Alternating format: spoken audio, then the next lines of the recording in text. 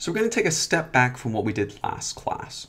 So last class, we derived from first principles a step-by-step intuitive confidence interval and showed you how it would work. This time, I'm going to be showing you another confidence interval. Uh, I'm not going to be deriving it step by step, but I will put a link to the derivation that is step by step uh, in the notes below.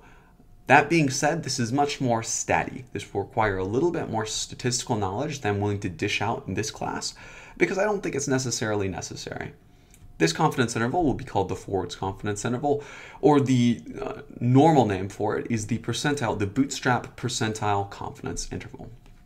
So once again, you know, we always start with this. Uh, maybe at one point in time I'll stop, but we've got a population.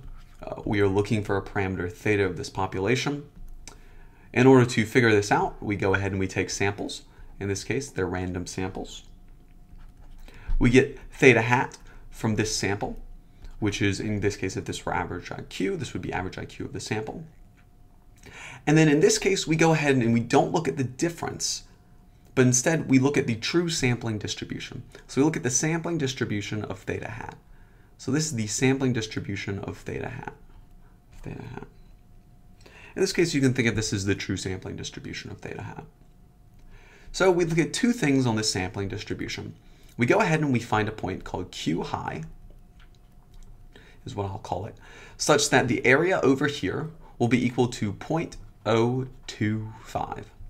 And we find another point called Q low, Q low, such that the area here will also, let me just draw this area here, will also equal 0.025. And we're going to be using these themselves as the bounds for our confidence interval. So what do you mean? What I mean to say is that the probability, and this is an estimate, that Q sub low is less than true theta, which is also less than Q sub high, will be equal to 1 minus the area that we chose, in this case, 0.025 times 2. Times 2.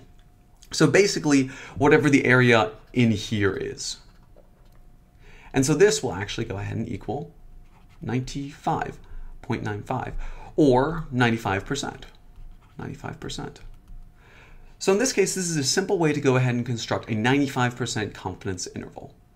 You can change the values of 0.025 on both sides in order to construct intervals of varying size. So if instead we change them to 0.05, we can construct a 90% confidence interval.